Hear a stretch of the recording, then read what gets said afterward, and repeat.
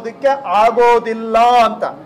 ಅದನ್ನ over rule ಮಾಡಿ denotification ಮಾಡಿದಾರಾ ಇಲ್ವಾ ಸತ್ತೋಗಿರೋರ ಹೆಸರಿಗೆ ಡಿನೋಟಿಫಿಕೇಶನ್ ಮಾಡಿದ್ದಾರಾ ಇಲ್ವಾ ಡಿನೋಟಿಫೈ ಆದಂತ ಜಮೀನಿಗೆ ಕುಮಾರಸ್ವಾಮಿ ಅವರ ಕುಟುಂಬದವರು ಜಿ ಪಿ ಎ ಮಾಡ್ಕೊಂಡಿದ್ರ ಇಲ್ವಾ ಡಿನೋಟಿಫಿಕೇಶನ್ ಆದ ಮೇಲೆ ಆ ಜಮೀನು ಕುಮಾರಸ್ವಾಮಿ ಅವರ ಕುಟುಂಬದ ವಶಕ್ಕೆ ಬಂತ ಇಲ್ವಾ ಇಷ್ಟು ಪ್ರಶ್ನೆಗಳಿಗೆ ಅವರು ಉತ್ತರ ಕೊಡ್ಲಿ. ಅದು ಸಾರ್ವಜನಿಕರ ಹಿತದಲ್ಲಿ ನಾವು ಕೇಳ್ತಾ ಇದ್ದೇವೆ.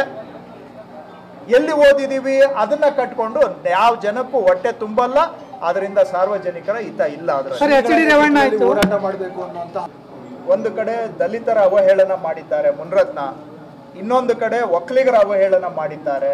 ಹಿಂದೆ ಹಿರಿಯರಾದಂತಹ ಶ್ರೀ ಬಾಲಗಂಗಾಧರನಾಥ ಸ್ವಾಮೀಜಿಯವರಿದ್ದಾಗ ಸಮಾಜದ ಈ ಥರ ಸಮಾಜದ ಮೇಲೆ ಯಾವುದೇ ಈ ಥರ ಒಂದು ದಾಳಿ ಆದಂಥ ಸಂದರ್ಭದಲ್ಲಿ ಆವತ್ತಿನ ಅವರ ನೇತೃತ್ವದಲ್ಲಿ ಇಡೀ ಸಮಾಜ ಒಂದಾಗಿ ಹೋರಾಟವನ್ನು ಮಾಡಿದೆ. ಇವತ್ತು ಒಬ್ಬ ಮಾಜಿ ಮಂತ್ರಿ, ಹಾಲಿ ಶಾಸಕರು ಈ ರೀತಿ ಅವಹೇಳನ ಮಾಡಿದಾಗ ನಾವು ಸಮುದಾಯದವರು ಎಚ್ಚೆತ್ಕೊಂಡು ಒಂದು ಧ್ವನಿಯಲ್ಲಿ ಇದನ್ನ ಖಂಡಿಸಬೇಕು. ಸಮಾಜ ನಾವು ಯಾವುದೇ ರಾಜಕೀಯ ಪಕ್ಷಕ್ಕೆ ಸೇರಿರಲಿ, ಆದರೆ ನಾವೆಲ್ಲರೂ ಕೂಡ ಪೂಜ್ಯ ನಿರ್ಮಲಾನಂದ ಸ್ವಾಮೀಜಿ ಅವರಿಗೆ ನಾವು ಗೌರವ ಕೊಡ್ತೇವೆ. ಅವರ ನೇತೃತ್ವದಲ್ಲಿ ಈ ರೀತಿಯ ಒಂದು ಸಮಾಜದ ಖಂಡನಾ ಸಭೆ ಆಗಬೇಕು. ಈ ರೀತಿ ನಮ್ಮ ಸಮಾಜದ ಹೆಣ್ಣು ಮಕ್ಕಳನ್ನ, ಸಮಾಜದವರನ್ನು ಅವಹೇಳನ ಮಾಡಿರೋದರ ವಿರುದ್ಧವಾಗಿ ನಾವು ಧ್ವನಿ ಎತ್ತಲಿಲ್ಲ ಅಂತ ಹೇಳಿದ್ರೆ, ನಾಳೆ ಯಾರು ಏನು ಬೇಕಾದರೂ ಖಂಡನೆ ಮಾಡುವಂತ ಪರಿಪಾಠ ಬಂದುಬಿಟ್ರೆ, ಈ ರಾಜ್ಯದಲ್ಲಿ ಇಲ್ಲಿವರೆಗೂ ಒಂದು ಗೌರವವಾಗಿ ನಡೆದುಕೊಂಡು ಬಂದಿರತಕ್ಕಂಥ ಒಕ್ಕಲಿಗರ ಸಮಾಜ ನಾಳೆ ಯಾರು ಬೇಕಾದರೂ ಅವಹೇಳನ ಮಾಡಬಹುದು ವಿನಾಕಾರಣ ಅವಹೇಳನ ಮಾಡಬಹುದು ಅಂದ್ರೆ ಅದು ಇಡೀ ಸಮಾಜದ ಗೌರವಕ್ಕೆ ಚ್ಯುತಿ ಆಗುತ್ತೆ. ಹಾಗಾಗಿ ಒಕ್ಕೊರಲಿನಿಂದ ನಮ್ಮನ್ನೆಲ್ಲ ಒಗ್ಗೂಡಿಸ್ತಕ್ಕಂಥ ಶಕ್ತಿ ಇರ್ತಕ್ಕಂಥದ್ದು ಪೂಜ್ಯ ನಿರ್ಮಲಾನಂದನಾಥ ಸ್ವಾಮೀಜಿ ಅವರಿಗೆ ಅವರ ನೇತೃತ್ವದಲ್ಲಿ ಈ ರೀತಿಯ ಒಂದು ನಮ್ಮ ಆಕ್ರೋಶವನ್ನು ವ್ಯಕ್ತಪಡಿಸ್ತಕ್ಕಂಥ ಕಾರ್ಯಕ್ರಮ ಆಗಬೇಕು ಅಂತೇಳಿ ನಾಲ್ಕಾರು ಮುಖಂಡರು ಅಭಿಪ್ರಾಯವನ್ನು ಕೊಟ್ಟಿದ್ದಾರೆ. ಅದನ್ನು ನಾವು ಪ, ನಮ್ಮ ಮುಖಂಡರು ಕೂಡ ನಾವು ಮಾತಾಡಿ ಸ್ವಾಮೀಜಿಯವರ ಗಮನಕ್ಕೂ ತಗ ಕೂಡ ತೆಗೆದುಕೊಂಡು ಬರ್ತವೆ. ಸ್ವಾಮೀಜಿಯವರ ತೀರ್ಮಾನ ಅಂತಿಮ. Sir H D Revanna. ವೈದ್ಯರು ಒಬ್ಬರು ನಮ್ಮ ಶಾಸಕರಿದ್ದಾರೆ. ನಮ್ಮ ಸ್ನೇಹಿತರು ನನ್ನ ಸಹೋದ್ಯೋಗಿ ರಂಗನಾಥ್ ಅವರು ಬಹುಶಃ ಅವರು ವೈದ್ಯರಾಗಿ ಆತಂಕದಿಂದ ಈ ಮಾತನ್ನು ಹೇಳಿರಬಹುದು.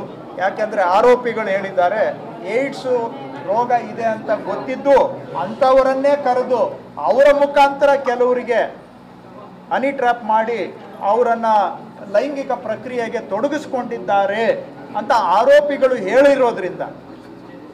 ಈಗ ಮುನಿರತ್ನ ಅವರ ರ್ಯಾಕೆಟಲ್ಲಿ ಸುಮಾರು ಅಧಿಕಾರಿಗಳು ಭಾಗಿಯಾಗಿದ್ದಾರೆ ಸುಮಾರು ರಾಜಕಾರಣಿಗಳು ಭಾಗಿಯಾಗಿದ್ದಾರೆ ಅಂತ ಹೇಳುವಾಗ ಈಗ ಯಾರ್ಯಾರಿಗೆ ಏಡ್ಸ್ ರೋಗವನ್ನ ಅವರು ಪ್ಲಾನ್ ಮಾಡಿ ಹಬ್ಸಿದ್ದಾರೆ ಅನ್ನೋದು ಕೂಡ ಅವರವರ ಹುಷಾರಲ್ಲಿ ಅವ್ರು ಇರಬೇಕು ಅನ್ನೋ ಸಲಹೆಯನ್ನ ನಮ್ಮ ಸ್ನೇಹಿತರು ಕೊಟ್ಟಿದ್ದಾರೆ. ಸೊ ಅವರವರ ಅವರು ಬಹುಶಃ ಯಾರಾದರೂ ಆ ಥರ ವಿಕ್ಟಿಮ್ಸ್ ಇದ್ರೆ ಅವರ ಹಿತದೃಷ್ಟಿಯಿಂದ ಕೊಟ್ಟಿರೋದನ್ನ ಅವರೆಲ್ಲ ಸ್ವಲ್ಪ ಟೆಸ್ಟ್ ಮಾಡಿಸ್ಕೊಳ್ಳೋದು ಒಳ್ಳೇದು ಸರ್ ಎಚ್ ಡಿ ರೇವಣ್ಣ ಆಯಿತು ಅವ್ರ ಮಕ್ಕಳಾಯಿತು ಮುನ್ರತ್ ಆಯ್ತು ನೆಕ್ಸ್ಟ್ ಯಾರಿದ್ದಾರೆ ಸರ್ ಆ ರೀತಿ? ನೋಡಿ ಯಾರ್ಯಾರು ನಾನು ತಪ್ಪು ಮಾಡಿದ್ರೆ ನಾಳೆ ಉಪ್ಪು ತಿಂದವ್ರು ನೀರು ಕುಡಿಬೇಕು. ಯಾರ್ಯಾರು ತಪ್ಪು ಮಾಡಿದ್ರೆ ಯಾವ ಪಾರ್ಟಿ ಆದರೂ ಇರಲಿ ಯಾವ ಪಕ್ಷನ ಇರಲಿ ಏನಾದರೂ ರಾಜಕೀಯದಲ್ಲಿ ಯಾವ ನಾವು ನೆನ್ನೆ ಎಲ್ಲ ಸೇರಿ ಮಾತಾಡಿದ್ವಿ. ಯಾವ ಕಾಲಕ್ಕೆ ಬಂದಿದೆಯಪ್ಪ ರಾಜಕೀಯ ಎಲ್ಲಿದ್ದಿದ್ದು ರಾಜಕೀಯ ಅಂತ. ಆದರೆ ಇದೆಲ್ಲ ಏನಾದರೂ ಸುಧಾರಣೆ ಆಗಬೇಕು ಅಂದರೆ ನಾನು ತಪ್ಪು ಮಾಡಿದರೆ ನಂದು ಹೊರಗಡೆ ಬರಬೇಕು, ಯಾರು ತಪ್ಪು ಮಾಡಿದರೆ ಎಲ್ಲರದು ಹೊರಗಡೆ ಬರಲಿ, ಸಾರ್ವಜನಿಕರ ಮುಂದೆ ತಪ್ಪು ಮಾಡಿರೋರು ನಗ್ನ ಆಗಬೇಕು. ಆವಾಗ ಮಾತ್ರ ಏನಾದರೂ ಸುಧಾರಣೆ. ಇಲ್ಲ ಅಂದರೆ ದಿನದಿಂದ ದಿನಕ್ಕೆ ಕೆಡ್ತಾ ಇರೋ ರಾಜಕೀಯ ವ್ಯವಸ್ಥೆ ನಿಮಗೆ, ನಮಗೆ ಎಲ್ಲರಿಗೂ ಕೂಡ ಅವಮಾನ, ಅಗೌರವ, ಇಡೀ ರಾಜ್ಯಕ್ಕೆ ಅಗೌರವ ಮತ್ತು ಭ್ರಮ ನಿರಸನ ಮೂಡಿಸುವಂತ ಸನ್ನಿವೇಶ. ಯಾರ್ಯಾರ್ದು ಏನೇನಿದೆ ಎಲ್ಲಾರ್ದು ಬರ್ಲಿ ಬಿಡಿ, ಯಾವ ಪಾರ್ಟಿಯವ್ರದ್ದಾರು ಇಲ್ಲಿ ಬರ್ಲಿ ಬಿಡಿ. ಸರ್, ಈಗ ಮುಂಡ